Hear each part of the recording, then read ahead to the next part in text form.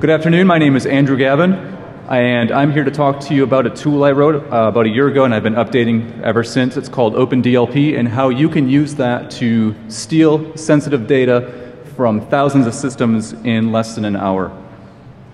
So, just a standard disclaimer um, I'm here just representing myself, even though I work for Verizon Business. They have nothing to do with the tool, nothing to do with the uh, presentation. And uh, also, if you use my tool and you get in trouble, not my fault. so, my outline here, I'm going to talk about what OpenDLP is for those of you who aren't familiar. This is, uh, by the way, building on a presentation I gave at uh, ShmooCon uh, earlier this year. Um, my reasons for writing it, how the agent portion works, uh, I'll show benchmarks between the agent and the agentless scanner, and you can see the drastic speed improvements that an agent offers. I'll give a live demo of the agent and also live demo of some new features. I've got four demos lined up. I plan on flying through these slides because I've got a lot, I don't, I don't, have much time, but I do have quite a few slides. And um, I hate slides, I like demos. So, um, and then at the end we'll do a, a con, I'll show my contact info and we can have a few minutes for Q&A. So what is OpenDLP? For those of you who don't know, it is a data discovery tool, and there are two components to it. There's a web app that kind of controls everything, and that's on the LAMP stack, so Apache, MySQL, and Perl. And then there's a Windows agent um, that runs on, obviously, Microsoft Windows. And uh, it's open source, released under the GPL version 3, and it is useful for compliance people. So if you're like a PCI guy, you want to find out where your PCI data is, you would want to use this. Uh, it's also good for proactive network and system administrators because we all know they are proactive, right? Um, and then finally, the coolest thing, what I do, I'm a pen tester, so I really wrote this for myself. Uh, and I write this, I use this after I get domain admin, and then I just let this thing rip on the entire network, and it's pretty cool. So, uh, what was my reason for writing it? Well, there really was no free agent based solution uh, last year when I started this. And the only solutions were really uh, GUIs that you could run on your desktop, like Cornell Spider, and you could hack those to be uh, an agentless scanner where you would do a net use to the remote hard drive and mount it locally. But as, a, as you'll see with the benchmarks, it's not really ideal for a very, very large deployment. It's going to be very, very slow. So how does it work for the agent-based scans? How do you how do you get it going? Well, the first thing you want to do is you want to create a policy, and this policy is going to be reusable. You're going to have your administrative credentials because the agent runs as a service, and you need to be an admin on the box to install a service. And then you can do other things like whitelist and blacklist files and directories. Uh, and then you want to configure your regular expressions that you're going to use. It uses PCREs. I assume we're all familiar with that here. Uh, and then a few other things that I'll show. Uh, then you're going to start a scan, and you're going to, uh, it's going to be deployed over SMB, and it's going to get kicked off by the WinExe program, which is like the Linux PsExec, and uh, it can concurrently deploy the scanners up to as many as you want in parallel. So instead of just sending out one at a time, you can send out maybe 30 or 50 at a time just to get it going faster. Now, when the agent is running on the Windows box, it's going to run as a, as a service, as I said, but it'll run at low priority, so no one's really going to see or feel it. There's not going to be a little pop-up GUI box or nothing in the system icon tray or anything like that. It's also going to limit itself to a percent of memory. So if you want to scan some huge 10 gig file and the Windows box only has a gig, and you try to load that 10 gig file into 1 gig of memory, bad idea. So what it'll do is it'll chop up that large file into smaller chunks that's defined as a percent of system memory. So like 10% of system memory or 20% or whatever you decide to use. Uh, finally, when it's done, well, it's going to scan, it's going to go through the whitelist and blacklist and then scan the resulting files. And then every so often, it's going to ping back with, to your web app with results, and it'll give little status updates and stuff. And uh, this is done securely. It's over a two-way trusted SSL connection, so if someone tries to man in the middle it, it's not going to do anything. Uh, it's written in uh, pure C. It's, there's no .NET requirements. So if you want to run this on an old Windows 2000 or XP box that doesn't come by default with .NET, it's still going to work. And uh, finally, when it's all done, it's going to uninstall itself automatically as a service. It's going to delete its directory completely. Really, the only way that you'd, you'd notice it was there is by looking at the logs. And certainly, 99% of the Windows users won't even notice it was there in the first place. In the web app, you can monitor the agents, and as I said before, it's going to ping with results every so often, and you can see how many files and bytes it's been it's processed. You can control the agents, pause, stop, uninstall, resume the agents, and uh, you can also view the results live as they're coming in. Uh, you can, if you see a if you see a finding, you can download that file just to verify if it's actually there. There's, there'll be a little hyperlink there, and it'll tell you the byte offset inside the file where it thinks it found whatever regular expression. Like I found a SOCH number at offset 500 in this file. So I know what you're thinking. Um, yeah, I invented multiplayer grep, but um, someone, I guess, had to do it. Um, and uh, just to go through some benchmarks, uh, these are the specs. It's a couple years old machine, but um, just for, for the sake of this benchmark, um, I ran it on two gigs with uh, 13 regexes. It took just over an hour, an hour and seven minutes. I'm not going to go through the rest of this, but um, on the flip side, an agentless scanner, the same exact thing took an hour and 20 minutes for 13 regexes. And for the agentless scanner, of that time, about 20% of the time was spent downloading the files because with an agentless scanner, you basically have to download the entire file system to your own box so you can process those files. So 20% of the time was spent on that, and nearly 80% of it was spent on crunching the numbers. Now, if you're going to do this for more than one box, more than one target, you're going to run into some bottlenecks. And probably the biggest bottleneck is going to be your own system's CPU. And that's what's really going to slow things down. So just for one system, it's only really 19% slower. But if we extrapolate this to more systems, we see here the blue line is the OpenDLP agent remains flat, just about one hour. And the agentless scanner with one core for 25 systems will take over a day. Just, just 25 systems takes over a day. Oh, sorry. Um, uh, so on the bottom, it's, there's really not much information. It just says, for, the, for this graph, it shows uh, from going from 100 to 2,000. Sorry about that. So for 2,000 systems, which is way on the right, it'll take almost three months to scan 2,000 systems with a single core system that I use my benchmark on. Uh, but with the OpenDLP agent, it just takes one hour, and you can't see that, but trust me, it's there. so it just remains flat. Um, the, uh, the, the upsides to an agent-based solution are that uh, all, the, all the computations are done on those victim systems. It's basically a distributed project. It's like CD, but instead of searching for aliens, you're owning data. Um, and it also doesn't have much network traffic. It's only sending out about one meg initially with the agent, and then every so often it pings back with that, those, those results and the log files. So it's really not a whole lot of traffic.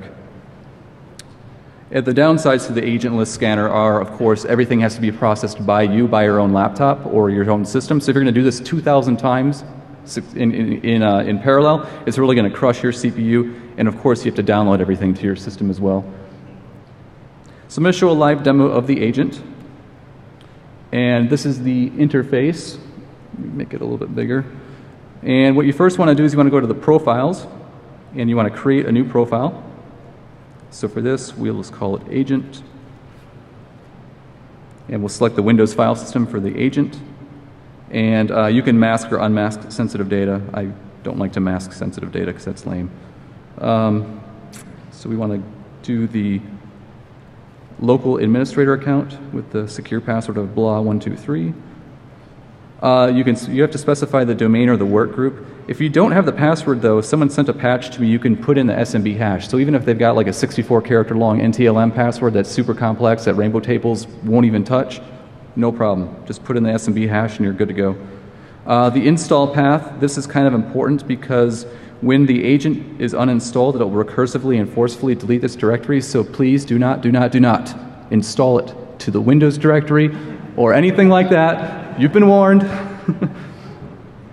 This is the memory limit that you can set where it'll chop up the files. Uh, here's where you can whitelist and blacklist directories. So I've got some sample data in this directory. And likewise, here's where you can whitelist and blacklist file extensions, so pictures, movies, EXEs, things that you really probably don't care about that would contain sensitive info. Here are the regexes, so we'll check some of these. You can add your own regexes. As I said, they're based on uh, PCREs. The, these uh, options here tell the agent what, to, what regexes to treat as credit cards. So if it thinks it ran across a 16-digit number, you might think it's a Visa or MasterCard, but it's going to run that through the mod 10 check. Yeah. Yeah, exactly. That's what this is exactly. So it'll cut down on false positives.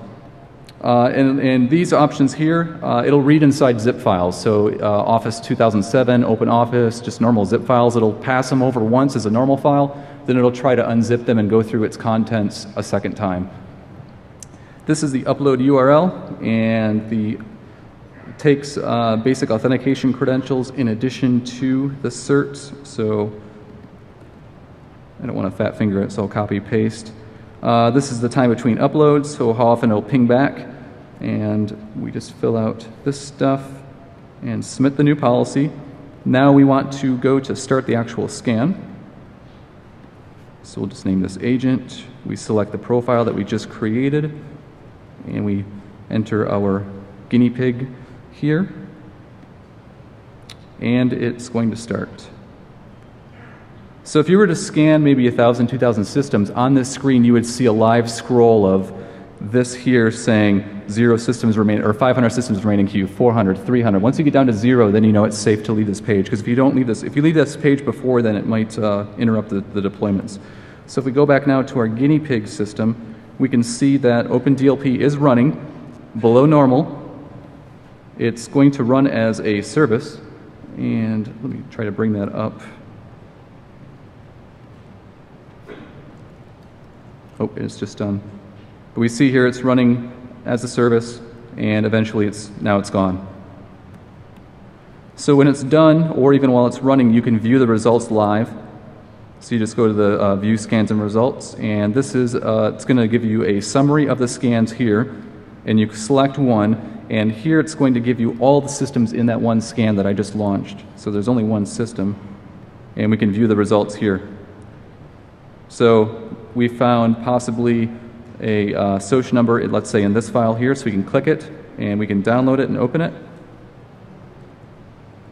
And we see, yeah, there's probably a SOCH number, uh, the number ones, number twos, and then down here, number threes, so we can verify that. If you think you found some false positives, you can check these guys and scroll to the bottom and just mark them as false positives. Go back, they're gone. If you think you accidentally marked something as a false positive, you can manage your false positives here and just drill down to the system and uncheck a couple. Now they're not a false positive. We can go back to the results and refresh, and they're back now. So that's pretty much it for the agent scanner.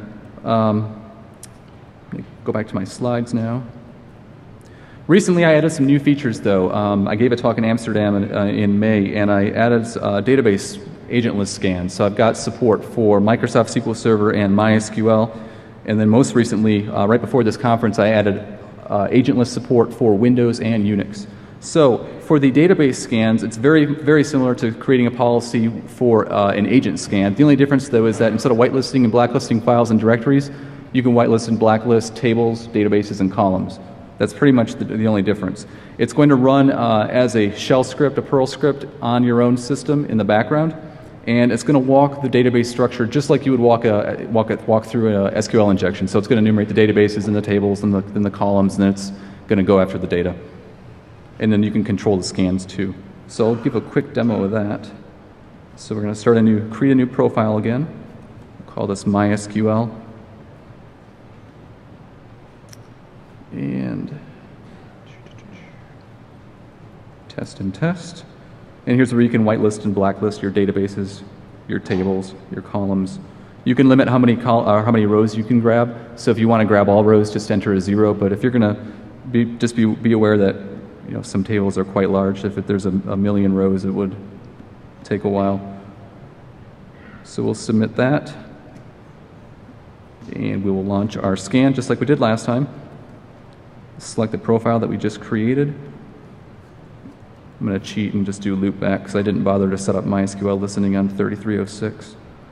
So this is going to go pretty fast. Um, in fact, it should be done because there's not a lot of stuff. Here is the, the scan that we just ran, and we see that it's done. And we see, well, you guys really can't see that. There's, there's five findings, trust me. uh, and they're all SOCH numbers, and it'll give the, um, the database, the table, and the column name. So if we want to verify that, there's, there's no option for me to verify that right now, but what we can do is uh, just go into the database itself. And we see that here's what it found, all that good stuff. So that's it for the MySQL demo. Um, now what I'm going to do is demo the, uh, the agentless OS scan. Um, it's, let me talk about it first. The policy is, is again very similar. You don't need admin credentials for this scan. It's helpful, but it's obviously if you don't give it an admin account, it's not going to be able to read all the files most likely. So um, it's it's also uh, honors the whitelisting and blacklisting, the memory sealing. It's going to be the memory sealing on your own box, not on the on the guinea pigs. But um, and and then it's going to run in the background as a as a shell script as a Perl script. And I currently have support for Windows, the entire file system over SMB Windows shares. Um, you guys can't see that. And then also um, Unix over SSH using the SSHFS method there. So I'm going to do a demo of uh, Unix real quick. So I'll create a new profile, call it Unix.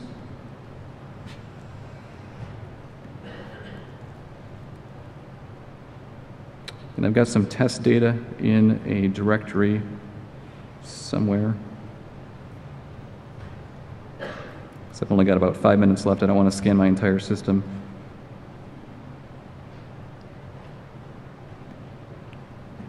And again, the same file extensions options, the uh, regex is here. Credit cards, zips, and we're good to go. We'll start the scan.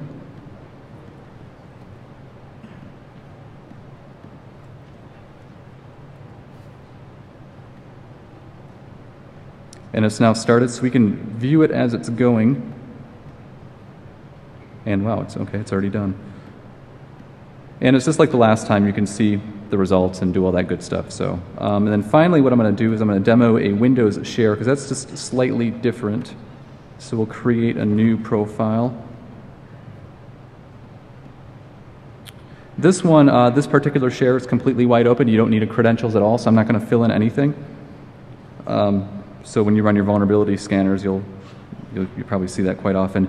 The uh, directory here, though, is a little bit different. It's relative to the path of the share that you, you're going to give it when you start the scan. Because if you try to put in, uh, you know, C colon backslash Windows, it's not going to know where that is because it's got to be relative to the, to the actual share.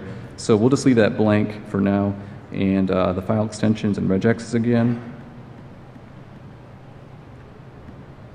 And the same thing, credit cards and zip files. So we'll submit that and we'll start a new scan again. And there's a slightly different thing here where uh, instead of giving it a list of IP addresses, you have to give it the actual full path to the share. So it knows where to go. And if you were to whitelist or blacklist file or uh, directories, it would just append them here like that. But um, you don't have to do that. Just give it to the base path of the share. So we click Start and it's going to go in the background. It's going to download all those files over the, uh, the share, and we can view the results as they're coming in.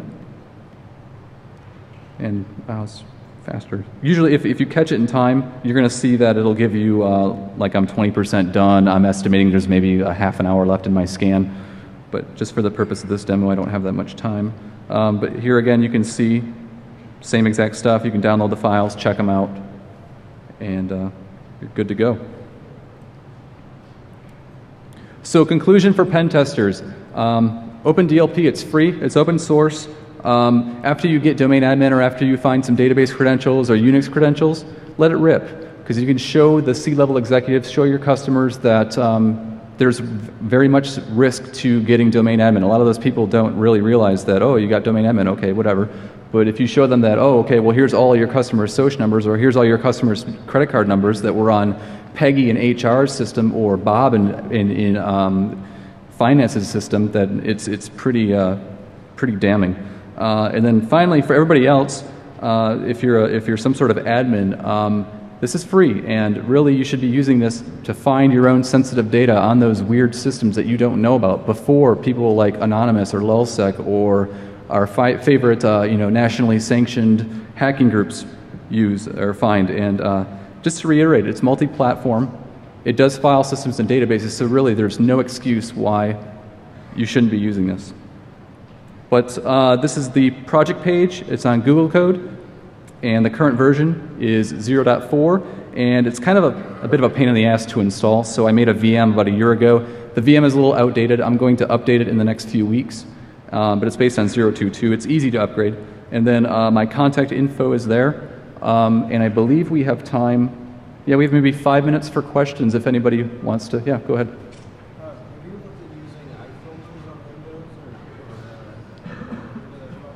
Uh, okay, sorry. The, The question is if I've looked into using eye filters on Windows to look into different binary types. Um, I do want to get into that, especially Outlook PST files, because those are just going to be a freaking gold mine. Yeah.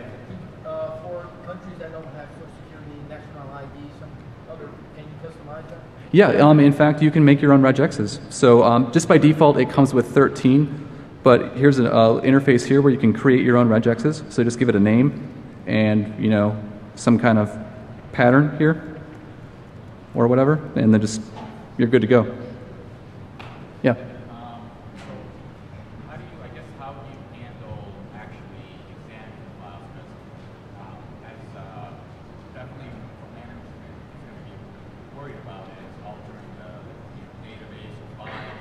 How do you handle open files? What's the actual process so we can guarantee to them that this is relatively safe? It's not going to modify data because when you show something like this, especially since it's open source, they're kind of tentative necessarily to run it. Um, I'm saying this because I tried running your tool, and that's the first thing they came to Okay. me was they're like, well, how do you know you this isn't gonna, you know? And I'm like, well, I mean, there's some actually show them the source code, but that's not really gonna. So how do you? So the question was, how do I know that this tool won't modify data or harm data in any way? Because people are leery about open source tools. Um, I open the files read-only, so um, if, if they are uh, modified after I open them, I am not sure what happens. um, but it, it, will not, it will not purposely modify the files at all. It's just read-only, strictly read-only. And what happens if there's any errors? We get like, uh, we couldn't read this file. That we just Yes, it would be listed in the logs here. Uh, there's a section here for the logs, and any file that I cannot open, it's uh, going to be mentioned here in the logs. So uh, there's not much here. I, I can open all the files that I could that I that I tested on my demo, but it will mention it there. Yeah.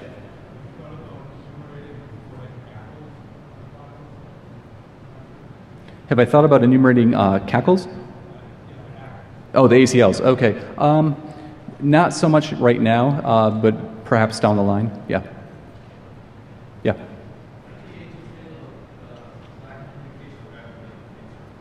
Great question. So, as a consultant, I don't like to leave my systems on the job. And his question was, how do agents deal with a lack of communication with the web app or the, your own server? And um, the, the, there's that uh, that phone home option every five minutes or whatever you set. It's going to keep trying every five minutes. If it cannot contact your web app, it's going to keep running and it's going to keep go, keep doing its grep. And then every five minutes, it's going to try to phone home. At the end, if it's completely done searching all the files, it'll try every five minutes just to phone home still. So let's say you, you launch the scan on Tuesday, you come back in Wednesday morning and plug in, you're just going to get a crap load of data like in the first five minutes. It's kind of cool to watch. Um, but yeah, it'll, it'll handle miscommunicating with the web server just fine. Yeah. It depends on how many systems you're running and also how many findings there are and certainly the you can set the log verbosity in the in the uh, profile too. I haven't really in- investigated it too much except that I know it can handle several thousand just fine on uh, just a, a decently recently uh, made laptop. No, there are no agents on a database server. The database scan is agentless, so it's going to remotely connect and download all those all the tables and stuff. Yeah. Oh, oh, um, negligible. It's just downloading the, the tables and stuff, just like a normal client would. It, downs, it downloads it locally and then does the processing locally. Uh, it doesn't do anything on the database except to download the data. Yeah. Have you thought about adding like a self-destruct so that if you can set it so that if say it can't get in touch with the server after three days, it removes itself? So, yeah, the question was uh, self-destruct, like if it can't contact the server after a few days, it'll just uh, uninstall itself. Um, the problem that I ran into with that, I, I haven't thought of that, but I'm, I'm thinking of how Windows works, and you can't, as far as, I, as, as from what I understand, the, a running process can't uninstall itself because it's running. I, I might be wrong, but that's why when it when these uninstall them, uh, when OpenDLP uninstalls itself, it's the web app sending another one of those WinExe commands to the system. Uh, but that is a really good idea, just to cover your tracks more. Yeah.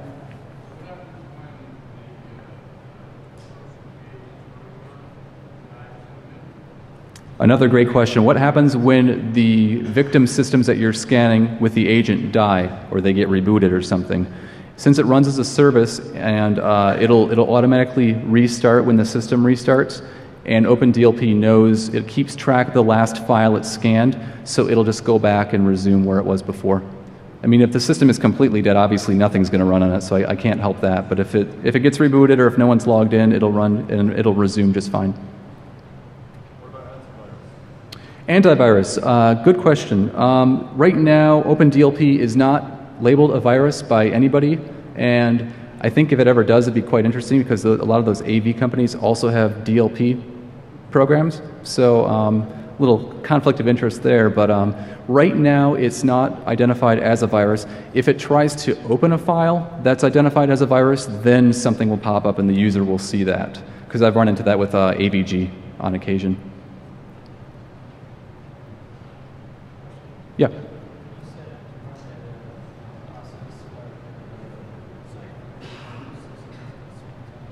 Like a schedule?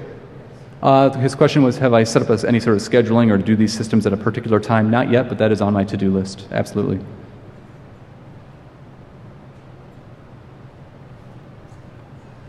Anybody else? Otherwise, I'm going to wrap up. Yeah, one more question.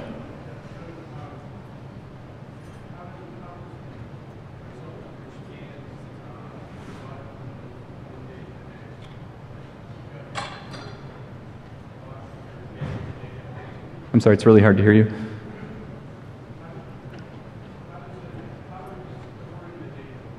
How am I what?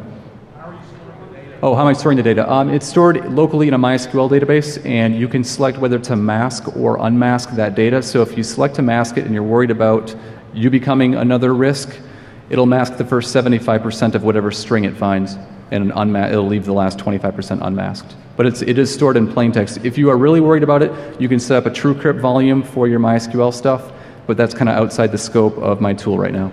But um, that's all the time I have. Thank you.